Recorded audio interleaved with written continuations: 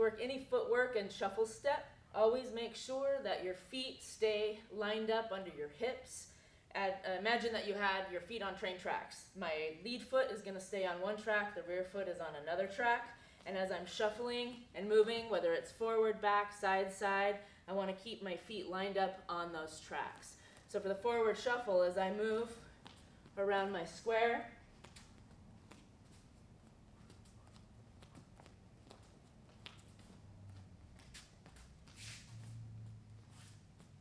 I take a two inch step with my front foot, I'm gonna take a two inch step with my back foot. Six inches front, six inches back. I always want that to match so that I always maintain that stance, nice solid base from my feet.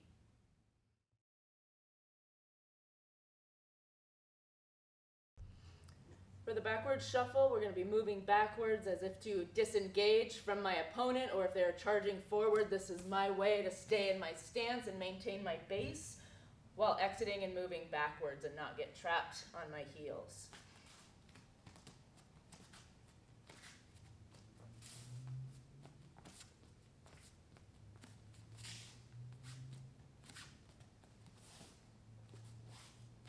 Just like with any of the shuffle movements, it's really easy to take too big of a step with that second foot and let it catch up with the rear foot, so always make sure you maintain that distance front to back between the heel and the back toe.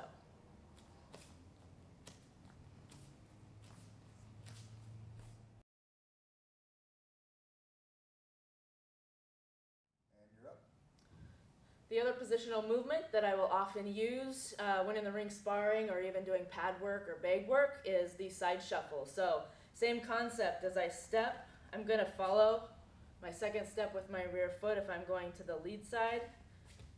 If I'm going to the rear side, I'm going to step, step. Same concept, if I take six, six inch step with my first foot, I'm going to take a six inch step with my second foot.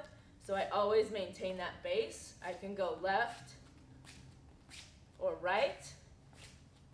This is a great way to follow my opponent or partner and pad holder as they're moving around the floor in the ring to stay zoned in, to stay in contact with them, and prevent them from gaining access to the middle of the ring where they'll be stronger and more dominant.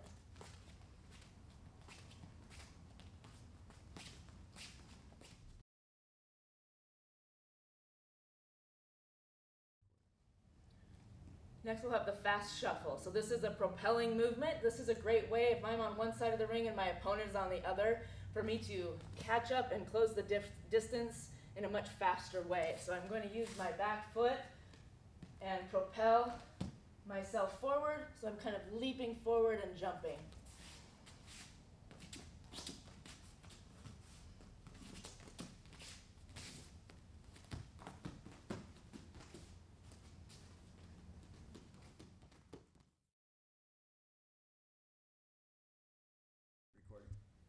The grapevine step, as you go in a circular motion, the crossover step as some call it, is a great way to work agility and get your foot, foot movement moving, as well as your hip motion happening, which is huge in a lot of Muay Thai movements. A lot of the action, especially with leg kicks and knees, come from the hips. So doing things in your warm-ups that allow the hips to get open and warm is gonna help you out. So for the crossover step or grapevine, I'm gonna step the back foot behind, front foot, back foot in front, front foot.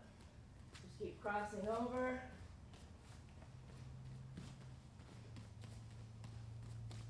I can go both directions. For the purpose of what we're trying to train ourselves to do, focus on keeping your hands up in the guard position at the same time instead of bringing them down to your waist. And then that way you're training that muscle memory to always be up here. Keep your guard up so you don't drop your hands and take that shot.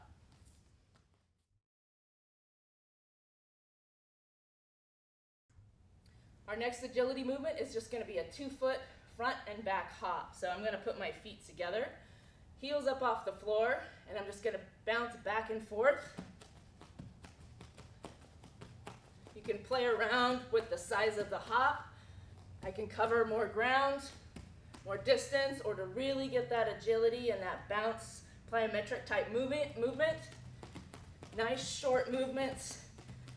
Imagine the ground is lava and you're just hopping your feet up. Every time you touch, boom, boom, boom, boom.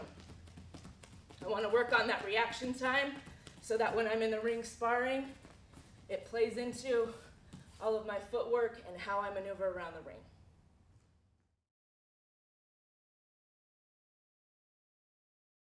Similar to the front and back hop is the side hop. So same concept, feet together, heels up off the floor.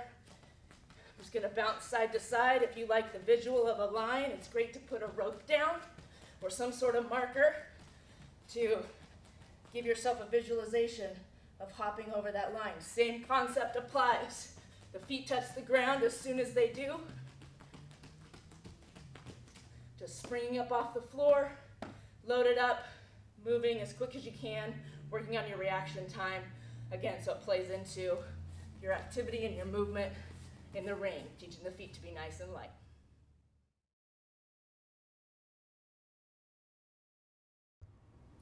Our final agility warm-up is going to be a frog hop. So I'm going to start down in a plank position. This is going to be great for getting that hip mobility in. Um, again, Muay Thai, a lot of the movements and strikes come from the hips. My kicks and knees are gonna really be accelerated and get my power from my hip action and movement. So making sure I'm nice and warmed up, the hips are loose, have lots of mobility are gonna give me a lot more strength and power in all of the striking that I do. So start in a plank position. I'm gonna hop my feet up, right up to my hands, and back to a plank. As you come through to that frog position, Drop your hips down. That's going to add a little bit of extra stretch to the hips themselves. If you can't get up to the hands yet, don't worry about it. Get the, hand, the feet as close as you can. That flexibility will come in time.